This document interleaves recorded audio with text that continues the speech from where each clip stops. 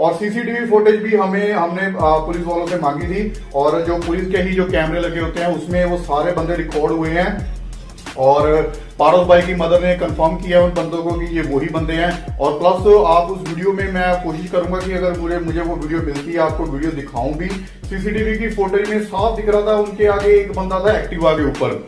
और वही बंदा जो था, रास्ता बता रहा था, जो बाकी बंदे थे, उनको रास्ता भी नहीं पता था पारस भाई के घर का। तो कोई बंदा इनका मेन जो कह सकते हैं बेती है, जिसको पता था कि पारस भाई कहाँ पे रहता है, सारी लोकेशन का पता था तो वो सबसे आगे था और वो बंदा आगे आगे ऐसे रास्ता दिखा रहा था कि इस गली में जाओ पारस भाई इस गली में है। तो सीसीटीवी की फुटेज में हमें ये कुछ देखने को मिला है।